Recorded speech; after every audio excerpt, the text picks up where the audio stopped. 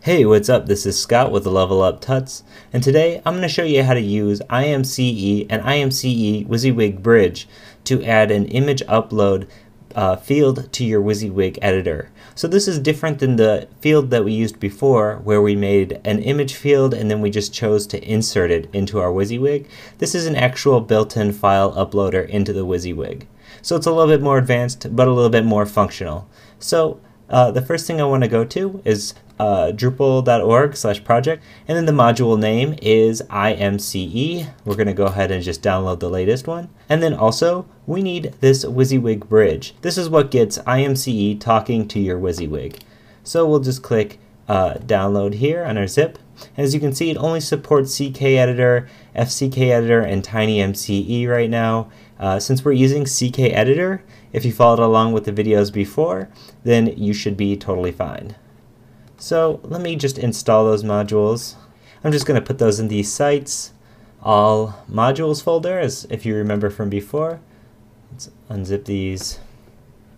Okay, let's throw them in there in our modules folder. Okay, now let's enable by modules. Scroll down, we can see them. Here, let me just that. Okay, so IMCE is here. And then we just need the WYSIWYG bridge, which is under user interface. We'll click to enable that. And let's save this configuration. So now, to get this working, we're going to have to configure it. Let's scroll down to our IMCE module right here, and there's a little gear with configure. We'll click on that.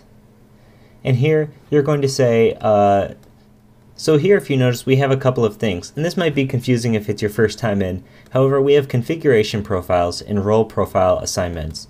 Uh, if you notice this profile name is user1, if you are the user that installed Drupal, you are user1, and that is it. No one else is user1. This is just a profile name for these configurations.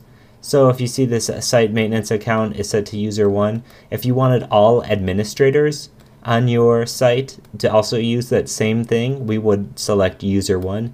Um, since we do, you know, if you want, if you have other uh, users, if you have other types of users, like let's say you have specific content editors that are only going to be editing content, what you can do is you can create a new profile and set that all up for them. So let's actually click this edit here. We're not going to create a new one, but we'll edit so you can see what kind of options are available. So of course you can give your profile a name. Um, you can have a maximum file upload size. So let's say you don't want users uploading gigantic images to take up space on their website. Um, you can give it a megabytes limit. You can give the directory a quota. So if you have these uploading into a specific directory, you can make sure that they don't upload a certain amount. Uh, total user quota in megabytes uh, permitted file extensions. Right now, we're pretty much allowing anything by using this um, star here. And just like these, there is no quota or maximum file size because they're all set to zero. We can have a maximum image resolution. Right now it's 1200 by 1200. Um, so that's no big deal. I don't think I'll be uploading anything larger than that.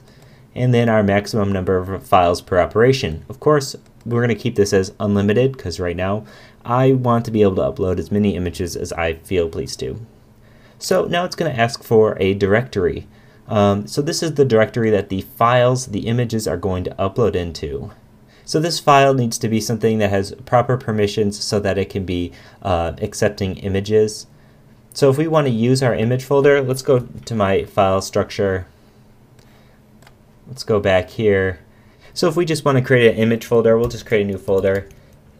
I'll just do it img, and then we can say that it's going to be root img that these files are going to be uploaded to. If we have any problems with that, it's going to let us know. So thumbnails, it's going to tell you the size, medium, large. Uh, you can change these if you like. We'll leave them, and we'll just click save. Okay, so changes have been saved. Okay, we're all good here. Okay, so now let's add this IMCE button to our WYSIWYG. To do that, let's go back into our configuration and then we're going to look at WYSIWYG profiles. So we're going to click on Full HTML Edit because Full HTML is the WYSIWYG profile that we're using. So we're going to set this up And we're just going to click buttons and plugins here. If you remember, this is where you turned on which items you wanted to show up in your WYSIWYG. So we have to turn on two things in here. We have to turn on image and then IMCE. So we'll just click image and then IMCE right here. And then let's save this.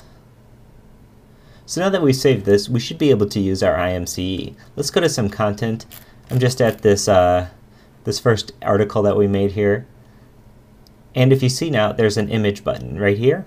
So if we select this, it's going to bring up this menu. This menu allows to do a couple things.